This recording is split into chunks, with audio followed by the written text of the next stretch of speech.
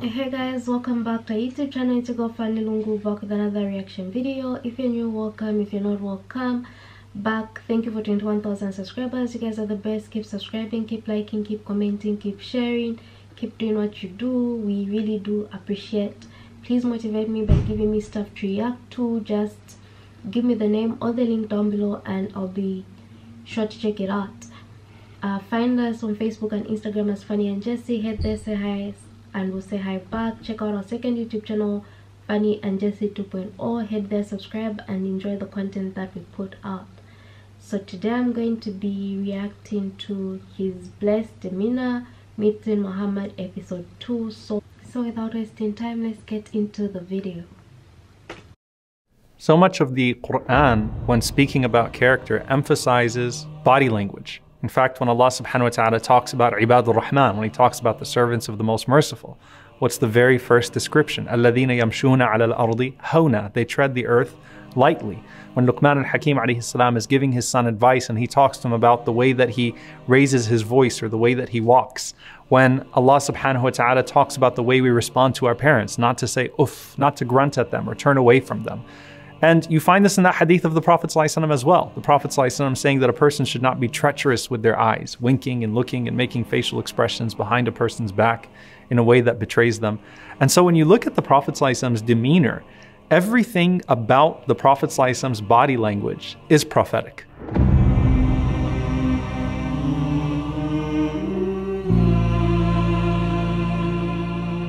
First and foremost, you're probably not used to the idea of someone who is so beautiful being so shy. But the Prophet ﷺ said that the khuluq of Islam, the characteristic of Islam, the key quality of Islam is haya, is modesty. And when you look at the Prophet ﷺ, he was the shyest person, he was the most bashful of people even though he had these supreme traits, sallallahu alaihi wasallam. So, what were his traits like? What was his demeanor like, alaihi salatu wasallam? So, we already said his smile was constant, and he's described as basaman dahakan. He was always smiling and causing others to smile, and he was always laughing and causing others to laugh. But his laughter, alaihi salatu wasallam, was also dignified and shy. When he would laugh, sallallahu alaihi wasallam, all that really was was an extremely wide smile. And he would laugh in a way that his smile would open up to where you could see the back of his teeth, sallallahu alaihi wasallam. And even when he chose to laugh, alayhi salatu wasalam, says something about him. So he would laugh when others would laugh, but he also would laugh, sallallahu alaihi wasallam, widening his smile when Allah subhanahu wa ta'ala gave him good news. Ali ibn Abi Talib radiallahu ta'ala anhu mentions the Prophet sallallahu having that wide smile, that laughter after his ibadah, after his worship. He would laugh when he shared narrations about Allah's mercy, the famous narration about the man who would enter paradise last. And he would think that Allah subhanahu wa ta'ala is mocking him because he cannot comprehend the generosity and the mercy of Allah subhanahu wa ta'ala. And the Prophet laughs and says, Allah laughed at that man when the man said, Ya Allah, are you making fun of me? And you are the Lord of the worlds. So his laugh was not audible, but it was clearly distinct from his usual smile, sallallahu alaihi wasallam, and it would show his back teeth. The Prophet ﷺ also was noted for these long periods of silence. You know, sometimes when a person is eloquent, powerful, beautiful, whatever it may be, they tend to dominate every single gathering. They tend to dominate every single conversation. This is the Messenger of Allah sallallahu alaihi wasallam, and he's noted for his silence. He was always in this place of reflection. And you could tell when you were looking at him, sallallahu alaihi wasallam, that he was deeply perceptive. And when he sat around people, he would only speak, sallallahu alaihi wasallam, in a way that was proportionate to the gathering itself. He's also described as having hulwul mantiq, beautiful logic and coherence. He spoke and he spoke to the point. As we said, his articulation was crisp and he would speak slowly and he would repeat himself sallallahu alaihi wasallam. So everything he said you would immediately understand it and you would remember it from him sallallahu alaihi wasallam.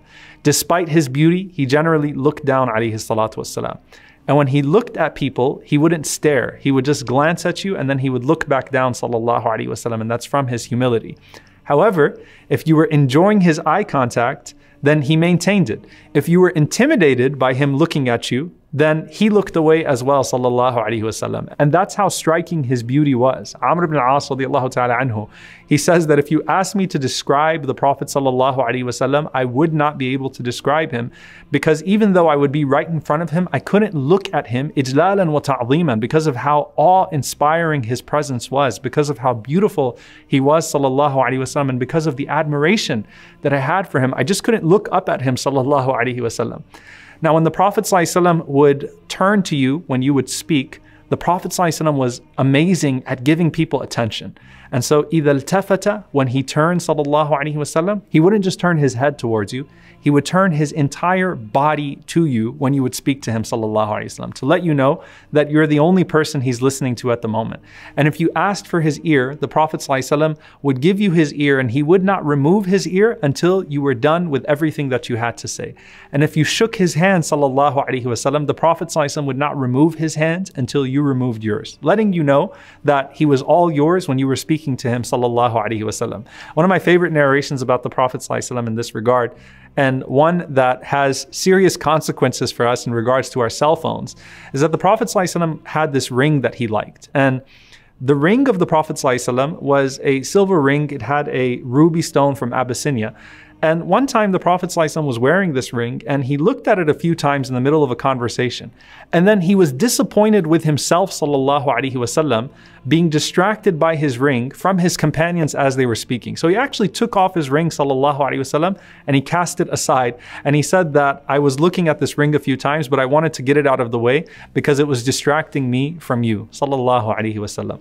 When he would point towards you, alaihi he would not use a finger because if he pointed with his finger towards you, then you might feel like he's casting blame towards you. So the Prophet ﷺ would only point with his entire hand so that you didn't feel like you were being blamed by his finger sallallahu alaihi wasallam.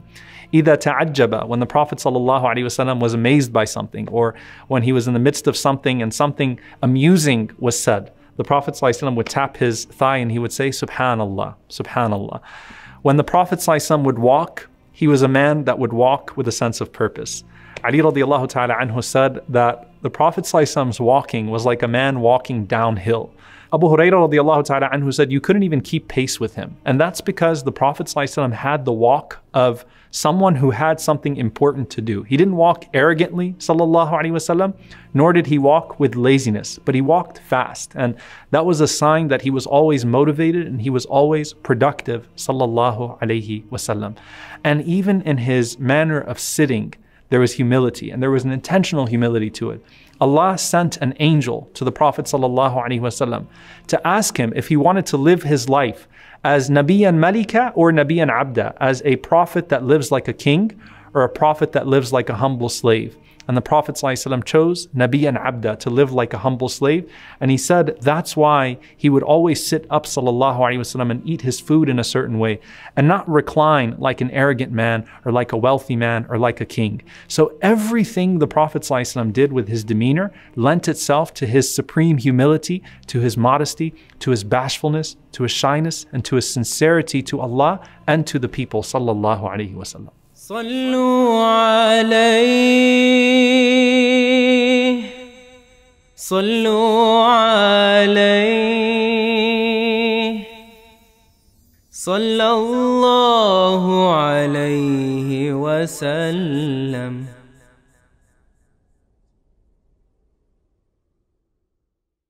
I'm just thinking to myself and saying um, he was he possessed good characteristics he listens to people he doesn't speak over people. He had leadership skills that didn't he didn't need to overuse. Rather he made everyone feel welcome around him. He made everyone feel at home around him. And i feel like that's what makes muhammad quite admirable. I don't know about you guys but that's what i think. If there's anything you would love to say let me know down below. Make sure to give this video a thumbs up share it with your friends and of course do not forget to subscribe and i'll see you in my next reaction video